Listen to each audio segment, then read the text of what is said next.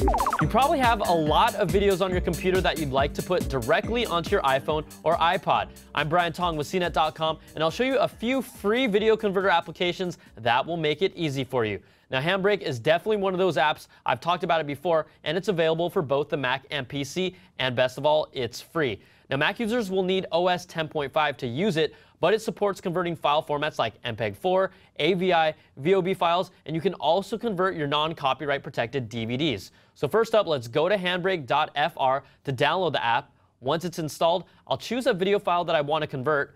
Then on the right-hand column, I'll choose what type of file I want to output it as, and you guys can choose between different iPod or iPhone formats and also formats for the game console of your choice.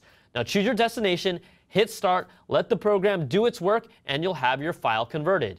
Now, Handbrake doesn't natively support Windows media files, so PC users should check out Media Coder. So you want to go to mediacoder.sourceforge.net, click on the device link, and then you have the choice to download the version that you want.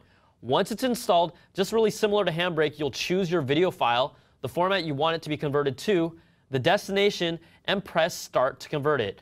Now, you might even like it as your primary converter because it handles pretty much every file type you can think of.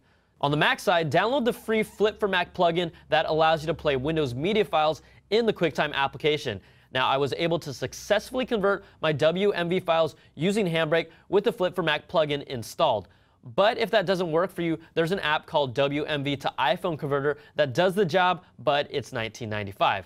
There are plenty of other programs that you can pay 30 to $50 for, but we wanted to show you the ones that are free or close to it. Once your video is converted, drop it into iTunes, sync up your iPhone or iPod, and your new video clips will be with you wherever you go.